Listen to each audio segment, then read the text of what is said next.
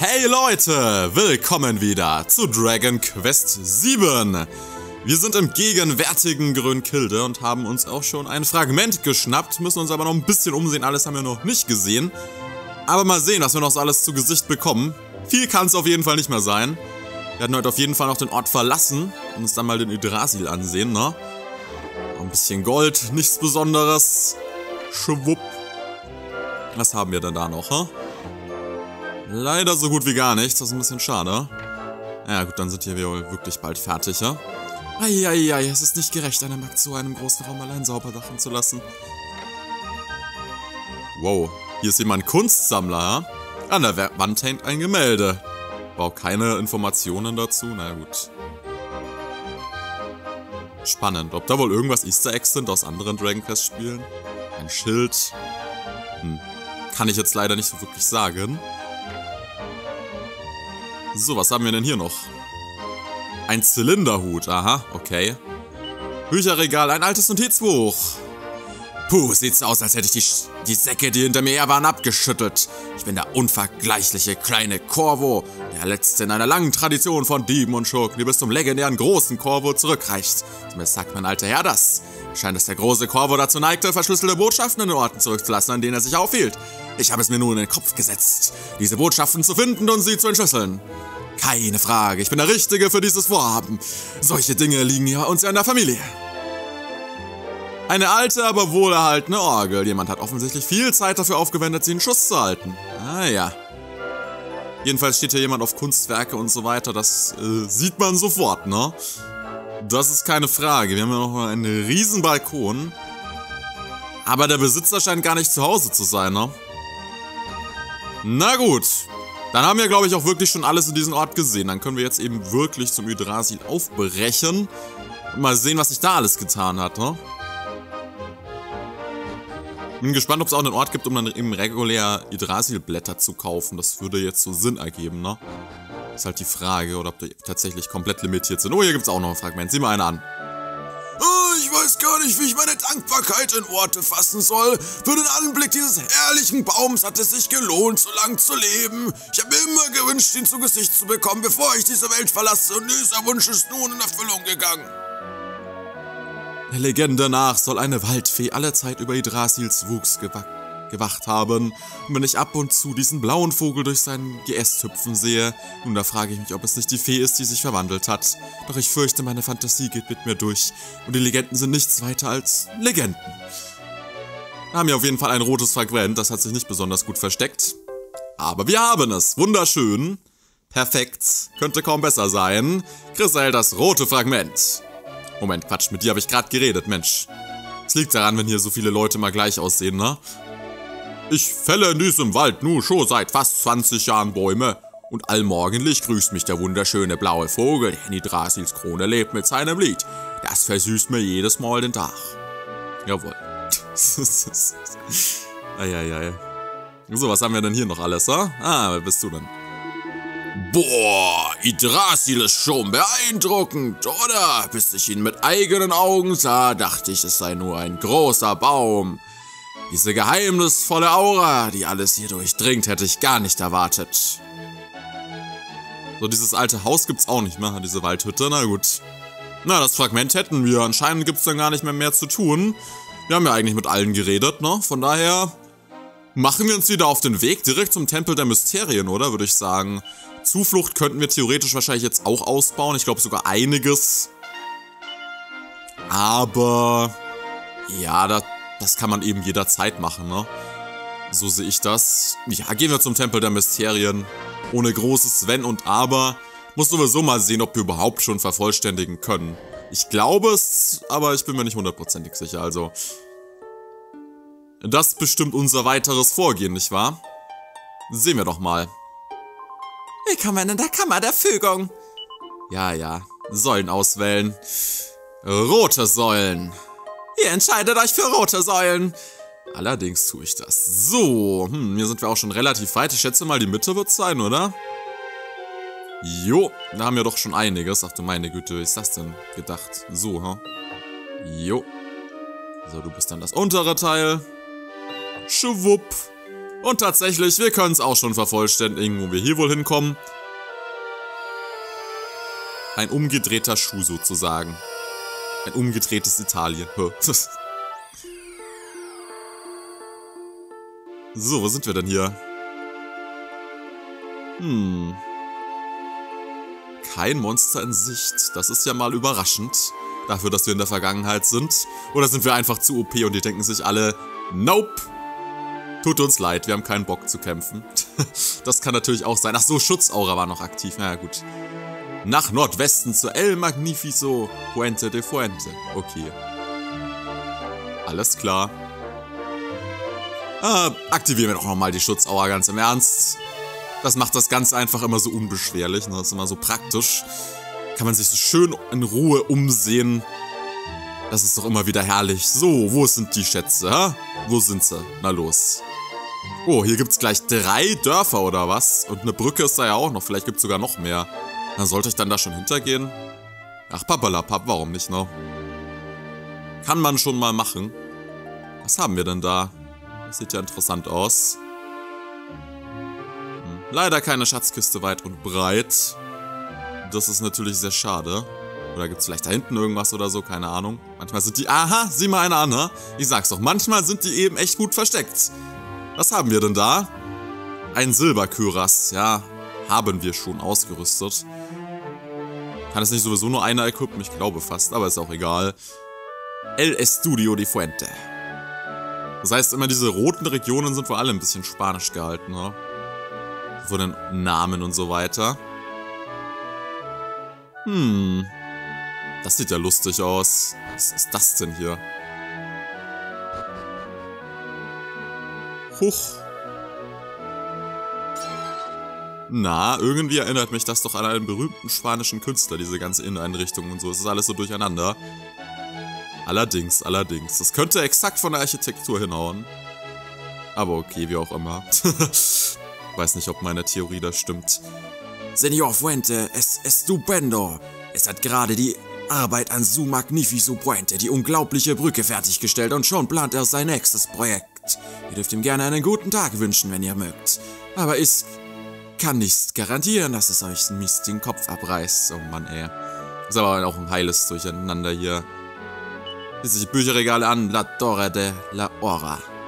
Für die durchschnittliche Person existiert nur eine Zeit, die Gegenwart. Tatsächlich ist jedoch Tatsache ist jedoch, dass Parallelwelten existieren und es Portale zu Orten gibt, an denen Zeit sich in der Tat gänzlich anders fällt als hier. Diejenigen, die ein intuitives Verständnis davon haben, dass in Sachen Zeit nicht alles so ist, wie es erscheinen mag, kann man nur mit einem Wort beschreiben. Genies! Mein prachtvoller Uhrturm ist ein Versuch, dem Laien die Faszination dieser Art von Brüchen im Zeitgefüge begreiflich zu machen. Selbstverständlich werden diese Leute nie wirklich in der Lage sein zu verstehen, was mein außergewöhnlicher Geist erfahren hat. Vielleicht gelingt es ihnen jedoch, zumindest die grundlegende Idee zu erfassen. So, hier gibt's nichts Interessantes. Bücher über Architektur und Design, ja, ja. Ich glaube, da liege ich schon durchaus richtig. Fuente. Mal sehen. Wenn ich hier eine Säule platziere und hier einen Freiraum lasse, perfekt. Und jetzt kommt das hier hin. Ui, was wollt ihr? Estoy ocupando. Seht ihr nicht, dass ich beschäftigt bin? Dejame en paz. Lasst mich in Ruhe. Na gut. Eine Katze. ah, schicker Ausblick. Kann man hier irgendwas Interessantes erspähen? Nicht so wirklich, ne? Also mit dir können wir gar nichts machen, oder? Nope. Anscheinend nicht. Na gut, dann gehen wir eben wieder. Aber jetzt wissen wir zumindest schon mal, dass hier ein Architekt und Designer lebt, der sich ganz gerne mit Zeiten befasst, auch unter anderem. Das ist doch schon mal was wert, keine Ahnung. Vielleicht wird uns das ja noch nützlich sein. Schutzaura aktivieren jederzeit, ja. Wir sind gut genug trainiert. Genau. Jetzt haben wir ein bisschen mehr Dichte drin, nicht so viele Kämpfe, ein bisschen mehr Story, mehr Erkundung etc. Das ist dann doch ein bisschen besser, finde ich. Na? Denn momentan sind wir levelmäßig doch echt gut dabei. Merkt man eigentlich schon, wenn man in einem aktuellen Gebiet ist und die Schutzaura überhaupt funktioniert, ne? so, wie auch immer. Da wären wir in El Circolo. Bienvenidos a El Circolo. Willkommen in El Circolo. Unsere Stadt ist berühmt für ihren Uhrturm, die von El Maestro selbst gestaltet wurde, Senor Fuente. Hm. Also ich glaube wirklich in den roten Regionen hängt alles ein bisschen zusammen. Von morgen an können wir endlich die Brücke nach Norden überqueren. Ich gehe mit meinem Vater zur Eröffnung. Es kann kaum erwarten. Willkommen im Kramladen. Hast du irgendwas Neues? Nope, auch nicht. Sehr unspektakulär alles mal wieder hier. Aber wir können jede Menge Dinge zerhauen, das ist doch wieder herrlich hier. Klonk, klonk, so. Was bist du für einer? Senor Fuente hat mir versprochen, dass er mir ein Haus baut, also habe ich alle Baumaterialien im Voraus gekauft. Das Problem ist nur, dass sein Maestro immer erst mit der Arbeit, mit der Arbeit anfängt, wenn ihm die Muse küsst. Tja. Schwupp. So, klassische Kirche eben wieder. Ach, hier ist es mal umgedreht. Diese Kirche ist etwas in die Jahre gekommen, oh, vielleicht wird es langsam Zeit, sie zu renovieren. Das Beste wäre, unser einheimisches Genie Senor Fuente darum zu bitten. Sie ist, ist bereit vor mir. Diese Kirche wurde zur Touristenattraktion La Maravillosa Iglesia de Fuente und wir könnten Eintritt verlangen. Ja, da geht wohl meine Fantasie etwas mit mir durch. Diese alte Kirche hat ihren eigenen Reiz. Oh Mann, ey. Eigentlich ist das noch viel schlimmer, wenn man tatsächlich Spanisch als Fremdsprache gelernt hat. Da merkt man erst, dass das für ein heilloses Durcheinander hier ist. Ey, das ist ja unglaublich. Gott, oh Gott. Das verwirrt mich irgendwie voll, weil die ganz, ganz komischen Mischmasch machen. Ich weiß auch nicht. Sehr, sehr dubios das Ganze. Ein Reisegewand, okay. Das Mädchen, das hier arbeitet, ist ganz schön kopflos. Ja, der arme, der armen Antonia passiert ständig irgendwelche Missgeschicke. Muss geschehen, ist ganz unterhaltsam dabei zuzusehen, zuzusehen, was sie so alles anstellt. Natürlich wünsche ich mir nicht, dass es sich tatsächlich wehtut. Dass sie die Treppe hinuntergefallen ist, war schon arg. Also haben wir hier einen Tollpatsch anscheinend auch. Ne? Ich bin den ganzen weiten Weg hergekommen, um die große Öffnung der Brücke morgens mitzuerleben. Und außer in dieser schäbigen Bruchbude war kein Zimmer mehr frei. Und als ob das noch nicht genug wäre, hat das Hausmädchen Milch über meinen schönen seidenen Ballkleid verschüttet. Ist das nicht das allerletzte? Ich wünschte wirklich, wären hierher gekommen. Da ist nichts Besonderes. Okay, das äh, ist auf der anderen Seite. Ah, haben wir mit dir schon geredet? Ich denke nicht, oder? Wenn ihr die Wirtin sucht, sie ist in Senor Salvadors Praxis. Sie musste La Chica begleiten, die hier arbeitet. Die ist heute Morgen leider ein wenig die Treppe hinuntergepurzelt. Oh Mann, ja, ja, die roten Regionen, ich sag's ja nur, ne? Die tun hier ständig ein Sprachmischmasch produzieren, das ist nicht mehr feierlich. Ein Spitzhut, aha.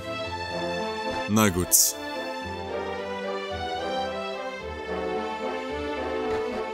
Weil es ja irgendwie ganz nett ist, ne? Also ich mag das ja lokalisierungstechnisch, ist es durchaus interessant, damit zu arbeiten, dass man tatsächlich Regionen bestimmte Dialekte und so gibt. Hat auch was ein bisschen Jargon und so weiter einzubauen. Man muss aber trotzdem aufpassen, dass man dass es nicht übertreibt, finde ich. Also am schlimmsten war diese eine Region, wo die so mit furchtbarer Grammatik gesprochen haben, ne, das mit den Robotern und so. Oh Gott, also das war wirklich ein Albtraum, fand ich. Während im Großen und Ganzen das so schon passt, wie die das hier machen. Unser Uhrturm ist die Symbol unserer Stadt. Und nun kommt eine erhabene Brücke hinzu. Beides haben wir dem Genie von El Maestro zu verdanken. Doch das Haus des Bürgermeisters in den Brunnen gebaut. Wahrhaftig, El Circolo gehört Senor Fuente. Aber wohnen will Senor Fuente? Ist hier. Hm, es un poco extraño.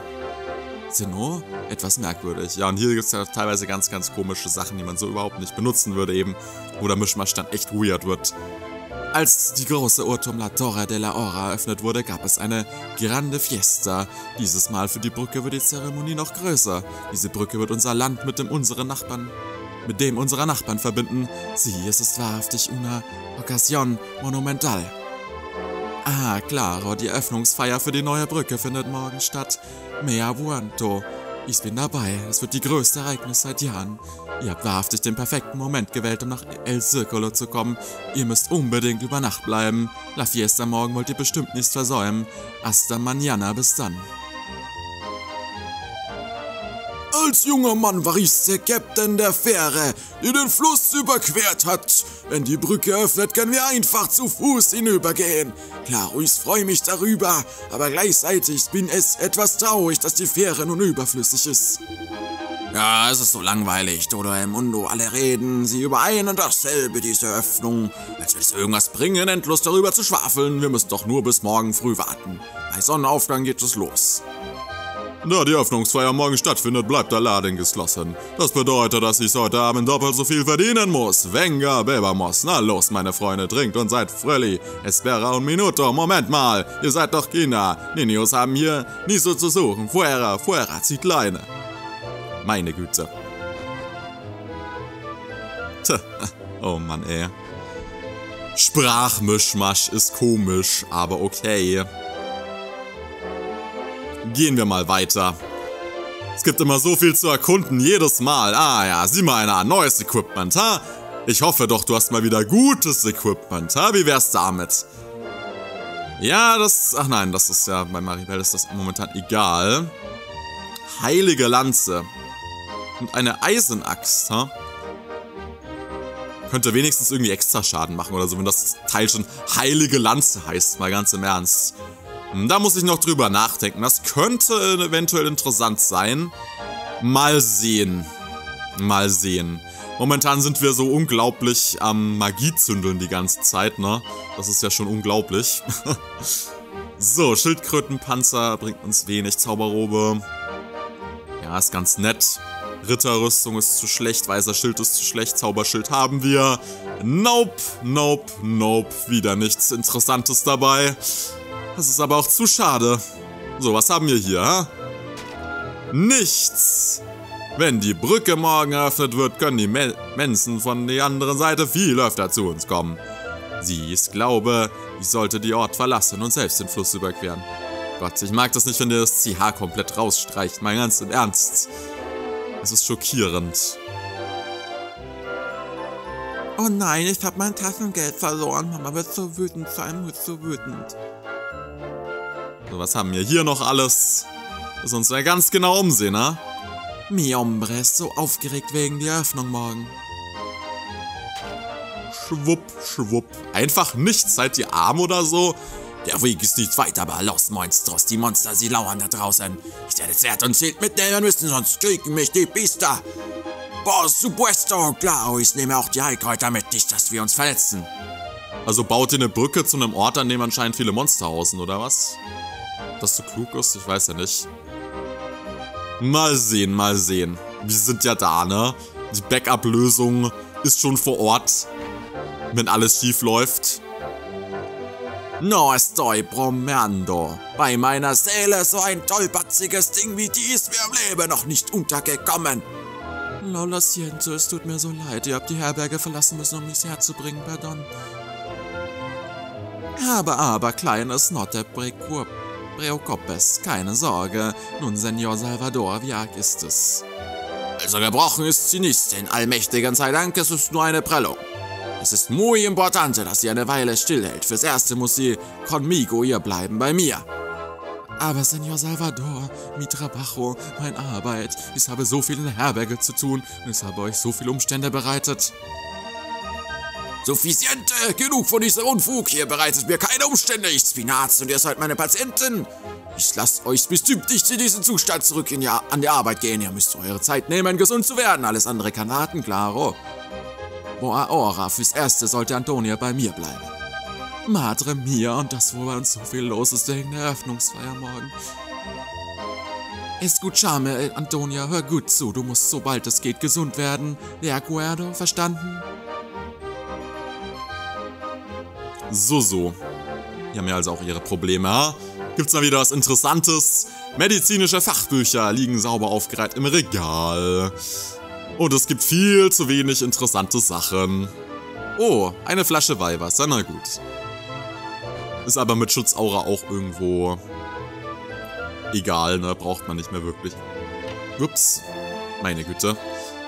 So, was haben wir denn hier? Ein Heilkraut. Und noch ein Heilkraut. Und was ist in der Kiste? Es ist ein Stein des Überlebens. Der könnte auch noch sehr brauchbar sein. Ne? Bücher über Architektur und Design. Ein Grimoire springt aus dem Regal. Na gut, das sollte kein Problem sein. Du bist in 0, nichts tot, das sage ich dir direkt, ja.